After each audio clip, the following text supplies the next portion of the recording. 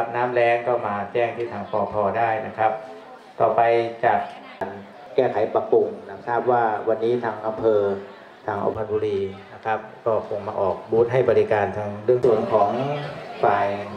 ทหารนะครับ คือท่านพันเอกหญิงกอบครับก็เลยเลื่อนจากเดือนที่แล้วมาเป็นเดือนนี้โครงการปฏิบัติราชการเพื่อบริการประชาชนหรือจังหวัดพื้นที่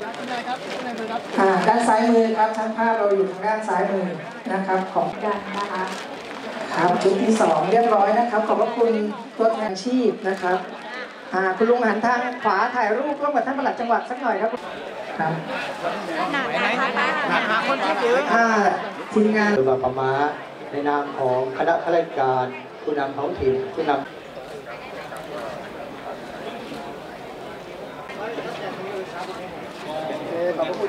ลำดับถัดไปนะคะต่อเลยนะคะ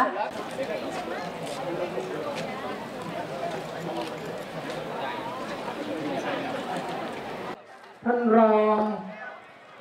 นายกเหล่ากาชาติจังหวัดสุพรรณบุรีนะครับร่วมปลูกต้นลงหัวนะครับในหลวงรัชกาลที่สิบอ่าท่านตจังหวัดตำบลลำใหญ่แค่นี้